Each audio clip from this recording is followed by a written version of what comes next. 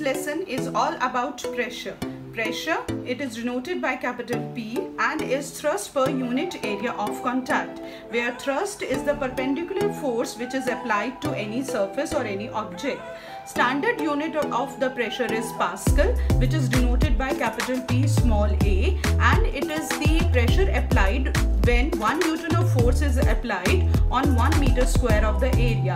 So 1 Pascal is 1 Newton per meter square. Now the factors affecting the pressure are, the first factor affecting the pressure is that pressure it is directly proportional to the force applied or the thrust. That means more thrust or more force is applied, it means more pressure.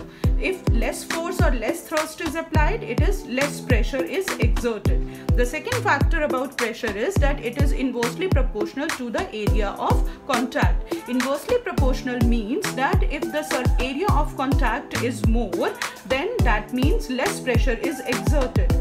If less area of contact, that means more pressure is exerted. So let us study these two factors with the help of an activity.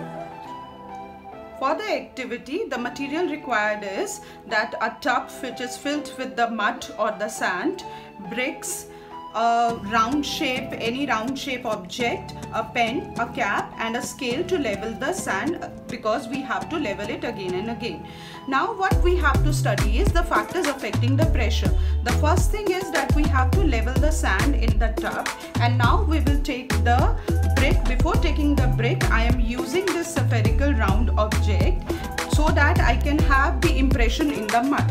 And now I am putting some force by applying some weight on this object I have applied one brick over this. So this is the weight of one brick or uh, that means the force applied by only one brick on this object. Let's mark the level over here. The level in the tape round object I have level I have marked the level. Now what I will be doing I will put the another brick over here yeah let's see first how much deep it has gone. It has gone so much deep inside it and you can see the impression over here also. Now I am putting back on the same impression and now I will increase the force or the thrust over it by putting three bricks over it. One brick two brick and now I am putting the third brick over here. That means I have increased I have increased the uh, thrust over this round object. Now I will mark the level over here in the tape. Now I will be removing it to show that is there any effect of the thrust applied on the object or not. See initially when I have and you can see the impression also it has go deepen inside. Initially the impression was over here. It has gone this much deep and now it has gone this uh, this much deep. That means it has nearly increased three times. As we have increased the thrust or the weight applied or the force applied on it by three times. So that means as the thrust increases the pressure it will increase. So more thrust and more pressure now I will be taking the second factor that is the area of contact. If I am using the small area of uh, the pen over here, I am keeping it over here. Let's keep it like this. That is the very small area over here you can see. So I am putting it over here and I will be applying the force by putting one brick over it. Now let's see how much deep this pen it is going into the sand. So this much deep it is going. So now I will be removing the brick and you can see I will be putting or I will be marking this also. This much deep it has gone. See we can see that there is a depression over there. Now I am changing the surface area this surface area of contact.